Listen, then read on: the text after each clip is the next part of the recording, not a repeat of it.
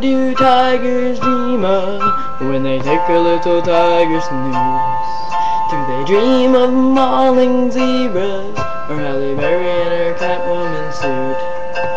Don't you worry, pretty Stratford, then we're gonna get you back to Tyson in your cozy tiger bed.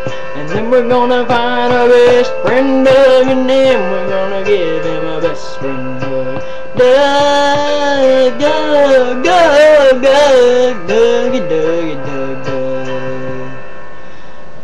he's been murdered by crystal meth tweakers, well then we're shit out of luck.